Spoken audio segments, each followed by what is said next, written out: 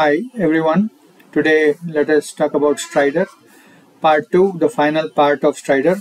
In the first part of stridor we talked about uh, uh, the questions that uh, are being asked and I, I tried to give an orientation what kind of questions are being asked and what how you should try to answer this.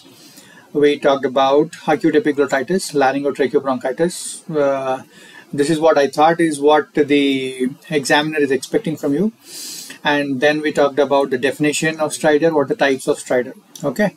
Now coming to uh, the stridor part two in this, we'll talk about the etiology, the various causes of stridor. In the management, we are going to talk about the history, what history, what uh, questions you need to ask, physical examination, what you need to look, uh, radiography, what investigations you need to get them done, uh, laryngoscopy, bronchoscopy, esophagoscopy to find out again to find out the cause of stridor all this basically to find out the site and then to find out the cause of stridor so that you can treat the patient okay? So the treatment is the final part. Coming to the causes of stridor uh, the causes of stridor are basically inflammatory neoplastic traumatic neurogenic and miscellaneous so I couldn't come up with a better mnemonic international music number. I stands for inflammatory, N stands for neoplastic, T stands for traumatic, N stands for neurogenic, and M stands for miscellaneous. So coming to inflammatory causes. Inflammatory causes means there is an infection causing the inflammation or the swelling when there is an infection you can expect that the onset is acute. The child or uh, the stridor is not going to come over a period of weeks. It's going to be a period of uh, hours sometimes hours or days. And the duration is going to be short because of the inflammation the because of swelling the child is going to present to you in a short duration. So maybe three days onset one day two days so many one or two hours. The baby was fine in the morning and finally started developing stridor uh, from the last two three hours only. So we came. Okay in the inflammatory we come what are the causes we can see are the laryngotracheobronchitis group. We talked about this acute epiglottitis. So these are the most uh, common uh, and epiglottitis is having an acute, very rapid progression, uh, and laryngotracheobronchitis is the most common cause of airway obstruction, infectious airway obstruction in children. Then we have retropharyngeal abscess that is mostly because of a suppuration of a retropharyngeal lymph node. Diphtheria. Diphtheria is mostly localized. Most of the times we see that the diphtheria is localized onto the tonsils, but sometimes the diphtheria can go to the larynx and that's where the child is going to have stridor, noisy breathing tuberculosis of the larynx. Coming to neoplastic, uh, neoplastic uh, causes of uh, stridor. Neoplastic means there is a swelling, there is a growth that occurring, so that can be benign or malignant. Most of the cases in a child, we expect it to be benign. So, so the onset will be gradual. So uh, the slowly progressive kind of uh, disease and the disease is going to be longer duration our child had uh, uh, this noisy breathing since a uh, few days or a few weeks and now it has progressed rapidly after the onset of a cold acute rhinitis. This this may be a presentation the child the the, the, the child's parents may come to you. Then juvenile juvenile multiple papillomatosis uh, hemangiomas. Juvenile multiple papillomatosis is caused by human papilloma virus so multiple papillomas will be present all over the larynx causing stridor and respiratory distress. Hemangiomas, these are slow growing tumors and quite rare. Tumors of the trachea, tumors in the trachea, these are also quite rare. Masses in the neck or mediastinum maybe because of lymphoma and such other things which are uh, which are going to compress the uh, uh, uh compress the trachea. Uh, so in this we can just go a little bit into it. Laryngotracheobronchitis, what is the stridor? Stridor is biphasic, okay? And acute epiglottitis, this is inspiratory. Retropharyngeal abscess is going to be inspiratory stridor. Diphtheria, if it's involving the larynx, it is going to be biphasic kind of stridor. Tuberculosis, also larynx, is going to be biphasic kind of stridor, okay? Juvenile multiple papillomatosis is biphasic kind of stridor, okay? Hemangioma, subglot is most common, so it is going to be biphasic kind of stridor. Tumors of the trachea, if it is in the cervical trachea, if it is in the cervical trachea, you are going to have a uh, biphasic kind of stridor. If it is in the intrathoracic trachea, a mass in the mediastinum causing compression of the uh, intrathoracic trachea, you may have a expiratory, expiratory kind of stridor. So as we saw, most of the cases are either inspiratory or biphasic. Here it is expiratory. Okay. Now traumatic. Traumatic, they will give a history of trauma. Patient had a road traffic accident, had a hit, was playing with playing cricket and the ball hit him. Cricket ball hit his neck, uh, throat uh, so there was injury to the larynx and then the, uh, the, child will going to have edema and then he's going to have stridor or there may be a fracture of the larynx and then the uh, child can have swelling hematoma uh, and that that can cause stridor okay so this is going to be sudden onset okay uh, it is not going to be gradual onset short duration suppose the foreign body trachea foreign body trachea there is a classical history that we can sometimes elicit from the patient the baby was uh, uh, holding something in his mouth, maybe a whistle or something, and he was running around. And suddenly he uh, stepped over a stone and suddenly fell down. And he suddenly had a deep inspiration, and the uh, the foreign body went directly into the trachea. so this is the kind of history. Then there was a sudden, there was a there was a bout of cough. There was a bout of cough, uh, and he was trying to cough it out, and then after some time it settled down okay if it is an inorganic uh, foreign body like a plastic or something it is not going to elicit so much of reaction in the lungs it can be silent for quite a long time but uh, if it is a organic foreign body like uh, like a like a groundnut seed. So this is something we can easily we can get many times groundnut seed that is going into the lungs into the probably the secondary bronchi and it is going to cause pneumonia. So it is going to be silent for some time and then the child is going to have cough not reducing not responding to treatment. Then you get an x-ray you will have pneumonia and uh, the, you can't see the uh, this groundnut seed on the x-ray.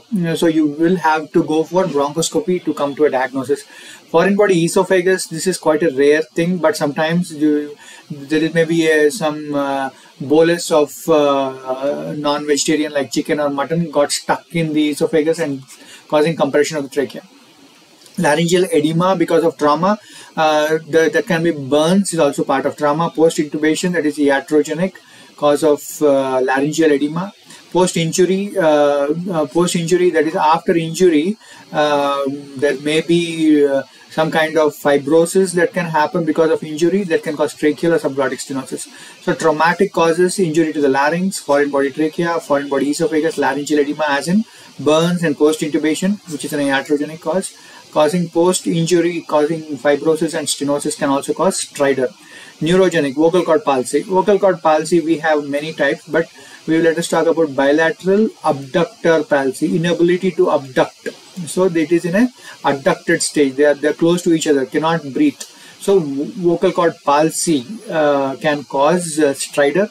Miscellaneous tetanus, tetanus caused by Clostridium tetani uh, there is muscle spasms all over the body uh, and all the muscles of the body so that can cause stridor okay so these are the causes of stridor let us have a quick revision so inflammatory uh, this infections that we talked about acute epiglottitis laryngotracheobronchitis diphtheria etc neoplastic neoplastic multiple juvenile multiple papillomatosis uh, hemangiomas masses of the trachea lymphoma kind of things in the mediastinum.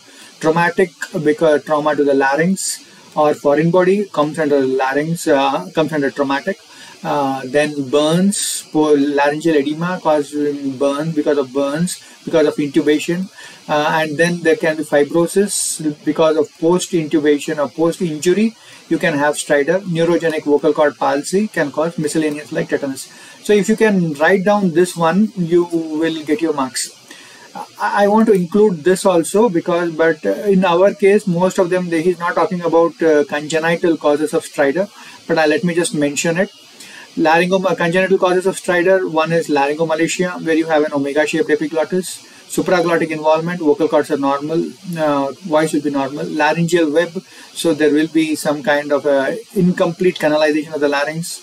It has a concave upper border and there is a web in between the two vocal cords subglottic stenosis, congenital cause of subglottic stenosis where the subglottis couldn't uh, recanalize properly, so there is uh, subglottic narrowing.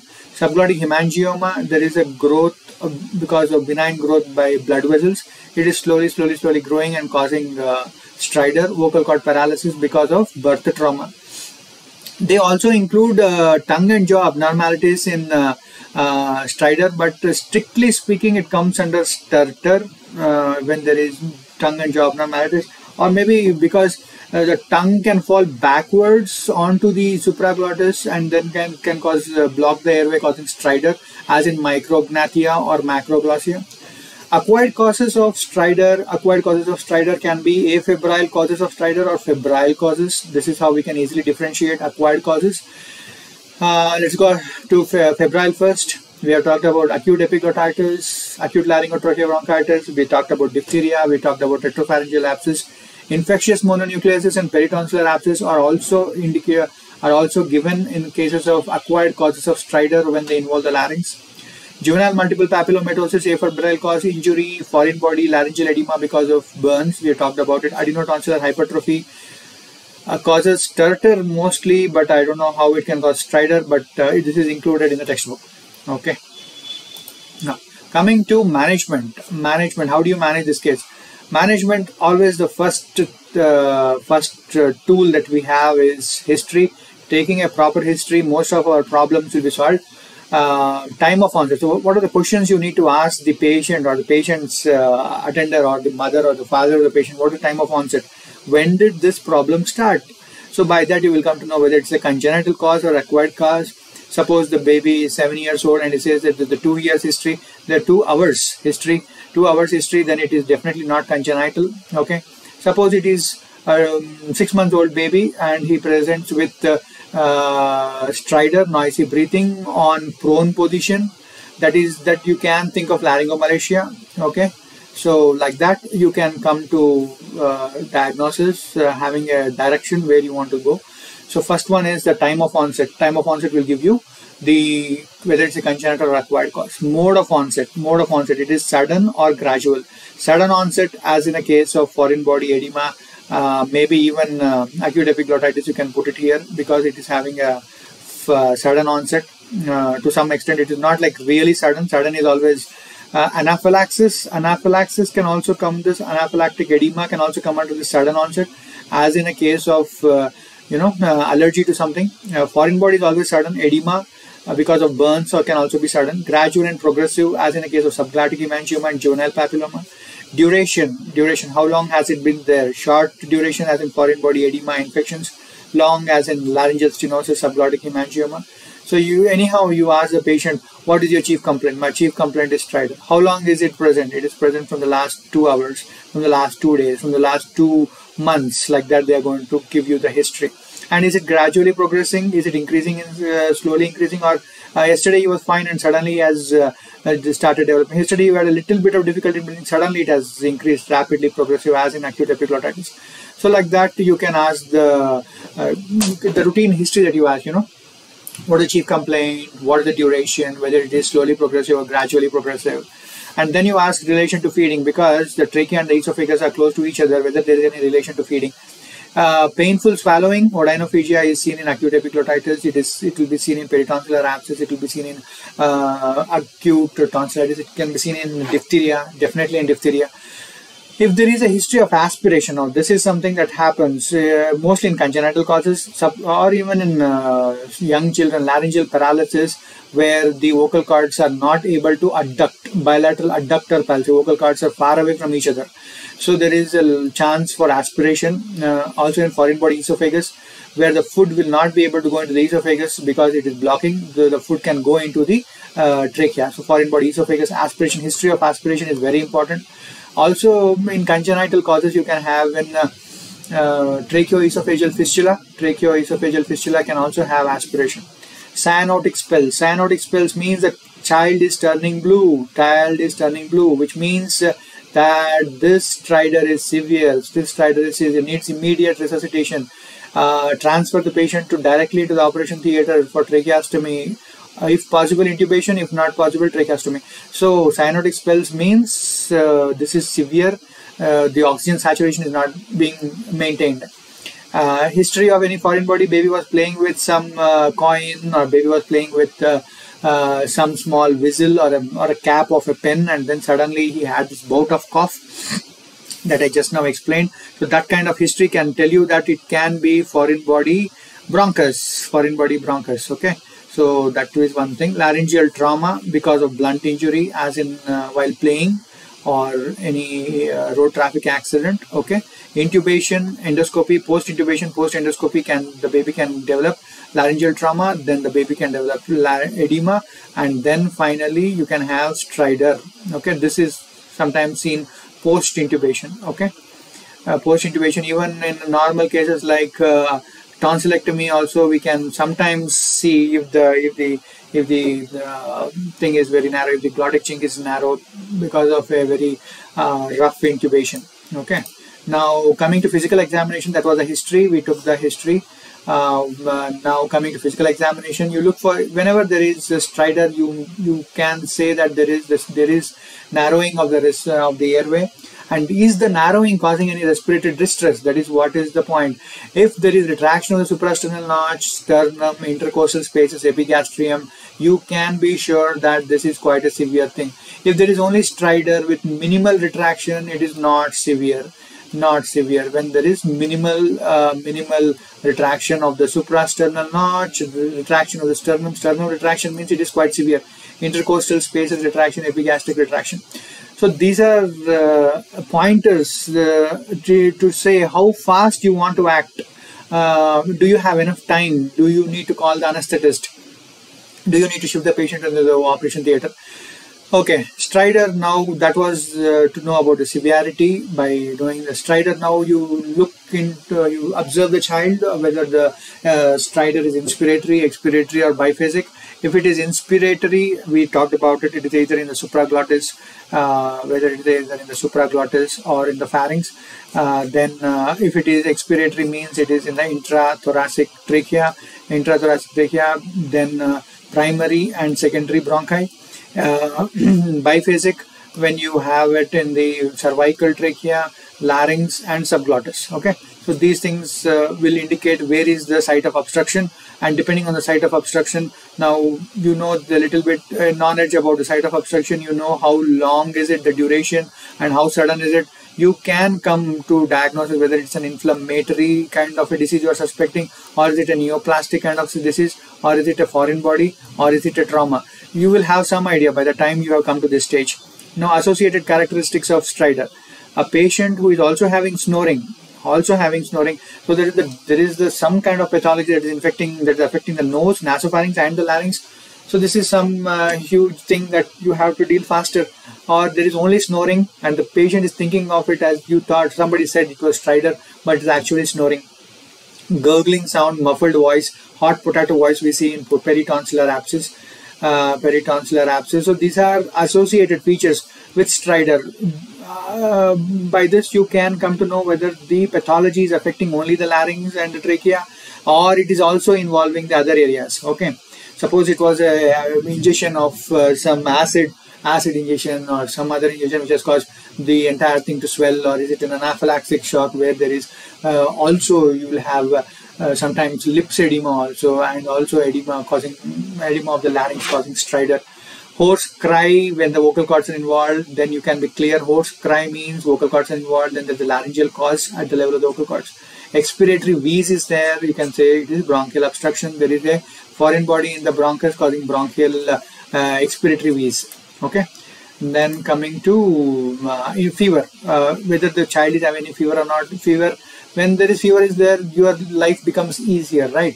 Uh, what are the febrile causes? Febrile causes are acute epiglottitis laryngotracheal bronchitis diphtheria peritonsillar abscess like this the the the mm, uh, differential diagnosis becomes very small now this is mostly in prone position is increasing the stridor or not. This is mostly we can ask the case where the, if the presentation is in the early three to six months of age when the baby is child uh, child uh, is very small and you think of congenital causes okay? Uh, laryngomalacia micrognathia macro uh, glossia innominated artery compression.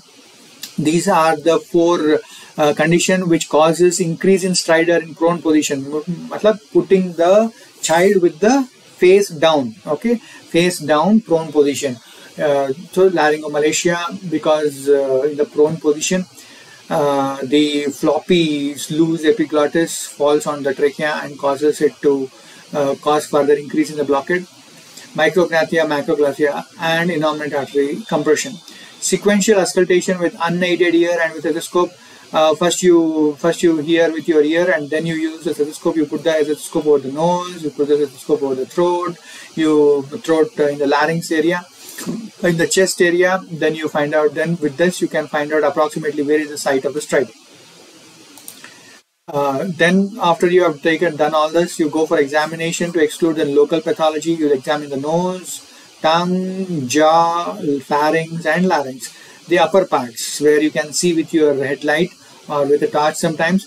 Nose, tongue, jaw, pharynx, and larynx examination of these things to exclude any local pathology. Indirect laryngoscopy can be done in adults, though this can exclude uh, vocal cord growth, okay, vocal cord growth, papillomas, sometimes there was there can be a foreign body stuck in between the two vocal cords so these things can indirect laryngoscopy is possible in adult but direct laryngoscopy in infants and children okay nowadays flexible laryngoscopy we are getting we use a fiber optic flexible endoscopy endoscopy to go from the nose we go into the just behind the uh, uvula and from there because of the excellent uh, uh, magnification and illumination, we can see the vocal cords, we can see the glottic chink, we can see the epiglottis, we can see the posterior area, we can see the uh, trachea also. So this can be done. Mm. Next, coming to radiography. Radiography. Very important role uh, uh, X-ray plays uh, in this stridor case. We take an X-ray chest anterior posterior view and lateral views and X-ray neck anterior posterior and lateral views. But now we have already talked about it. X-ray neck we can see thumb sign. Thumb sign we can see in acute epiglottitis. Acute epiglottitis you can see steeple sign steeple sign in laryngotracheobronchitis like that. Uh, chest we can see whether there is lung one part of the lung is collapsed whether there is any uh, increase in the size of the lung uh, hyperinflation whether uh, whether there are any neck node whether mediastinal lymph nodes what is the um, okay the various lung fields. You can see uh, CT scan when you are suspecting a mediastinal mass this is going to help you. Esophagogram with lip Lipiodol is useful when you are suspecting that there is any communication between the trachea and the esophagus you uh, give uh, uh, esophagogram into the trachea into the esophagus and you can see if there is any connections between atresia of the esophagus it will tell you whether the atresia of esophagus with tracheoesophageal fistula tracheobronchial fistula, aberrant vessels uh, pressing over the uh, pressing over the esophagus. Only if you suspect this, you can go with esophagogram. Angiography if you are suspecting any aberrant vessels, innominate artery compression, for example. Okay. Then coming to direct laryngoscopy. After all this is done, uh, the thing that we have in our hands, that are ENT surgeon's hands, are direct laryngoscopy with, with without anesthesia. So before anesthesia, can we really do something? Uh, you want to you want to know the cause of it. So in children and infants, you place the child and uh, do a direct laryngoscopy with a direct laryngoscope uh, with, with, with your eyes or using a camera. Uh, you always keep a tracheostomy tray ready, keep the intubation set ready so that if the child suddenly develops any laryngeal spasm or something, you should be ready to intubate or you should be ready to uh, do a tracheostomy. Don't do it casually. Okay, so this will help you to find out the cause of uh, stridor if it is there in the larynx. Okay, the best then if still all this you have done, you have taken a history, you have uh, done examination, okay, and then you have done an indirect laryngoscopy, you have done a flexible laryngoscopy, um, uh, you have done a chest radiograph, everything, and now you don't know, still you don't know what is uh, what is the problem, what is causing stridor.